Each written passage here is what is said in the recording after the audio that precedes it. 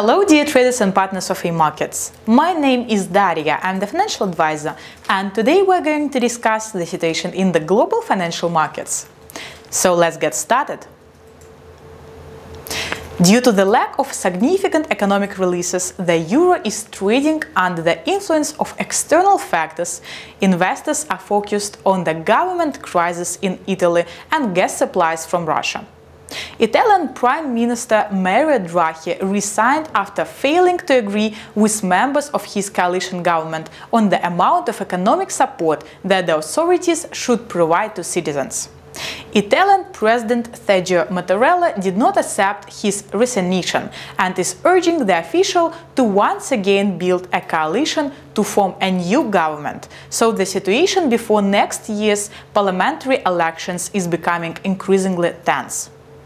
Germany is experiencing gas shortages due to reduced supplies through the Nord Stream pipeline, which is closed for maintenance.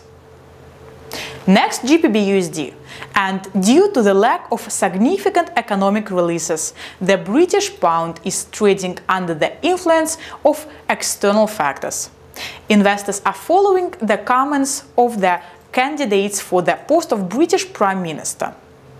Thus, former finance minister Rishi Sunak stated that if elected, the main economic priority will be the fight against high inflation rather than tax cuts. Earlier, the official promised tax breaks for business, but only after inflation resets from record highs.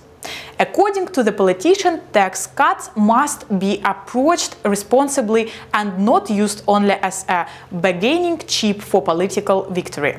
Furthermore, British Foreign Secretary Liz Truss vowed to put the British economy on an upward trajectory by the next election in 2024.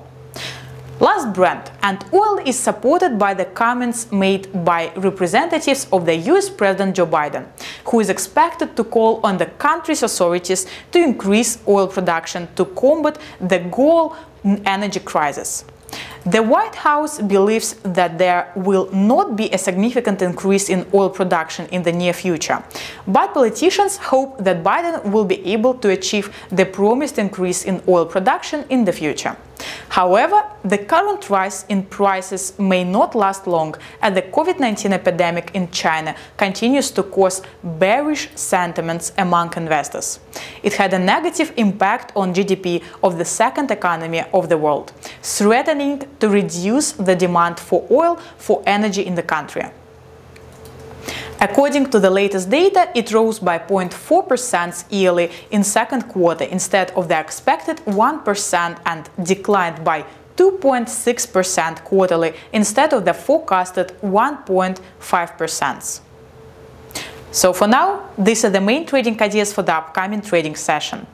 Thank you for your attention, subscribe to our channel, and we will do our best for you to reach success trading with AMarkets.